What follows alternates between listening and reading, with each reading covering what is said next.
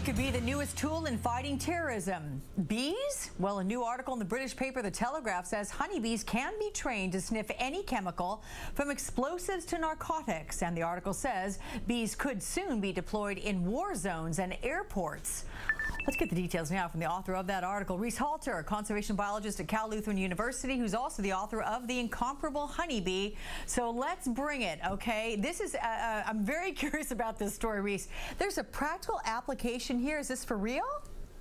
Absolutely, Alex. You know, it, it, it's so cool because the bees are, are going to foil the terrorists and the drug lords, and they're going to protect us by sniffing the these scents. They've got uh, from their antennae, there's 3,000 sensory organs.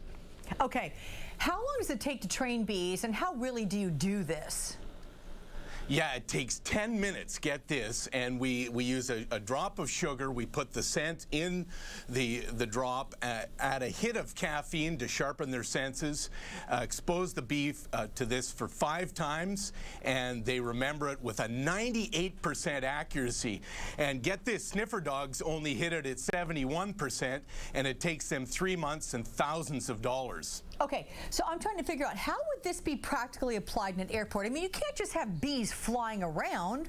How's this going to work? No, Exactly right. The, the uh, three bees are strapped to a little piece of plastic and they're put in a shoebox size apparatus and the scent is wafted over them and when the bee detects the scent it sticks out its tongue uh, as though it's reaching for the, the nectar, you see, and it's, it's foolproof.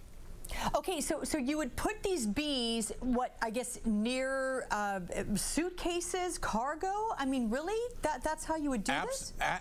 Absolutely, just like they run the sniffer dogs uh, uh, through customs and down uh, in the hold, this is what they'll do with the bees, and uh, and it's very, very cost efficient and highly accurate. Huh. Okay, you know, I want to bring up some pictures apparently that we have of the sniffer bees being used in, this, in glass diagnostic tools in the UK in these medical yeah. offices. What's going on here? Well, so also we can use them to detect uh, mm. skin and lung cancer, tuberculosis, diabetes, uh, monitor fertility cycles, and and uh, confirm pregnancies. So the patient breathes into the apparatus, and when the bee detects the scent, it rushes towards the the opening. if the bees are are uh, undisturbed and stay away, obviously the, the the the confirmation isn't there, and it's it's inexpensive and it's it's great, Alex. Well, I mean, Reese, this all it all sounds too good to be true. Is there any place where this is being used in the fight against terror? Uh, we're uh, we're beginning to we're beginning to roll it out. Uh, security reasons, uh, I can't divulge such things right now. But yeah, oh boy, this is really exciting. But here's the caveat, Alex. Very seriously, we're using five billion pounds of uh, of pesticides each year, and neonicotinoids in particular, and they're wiping the bees off the face of the earth. So we got to get serious and protect our benevolent little friends because they're going to protect us in so many ways.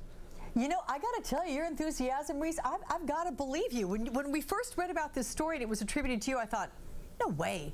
But, you know, you're making some good points. It's very curious. We'll be watching. Thanks, Reese Halter. Thank you. In a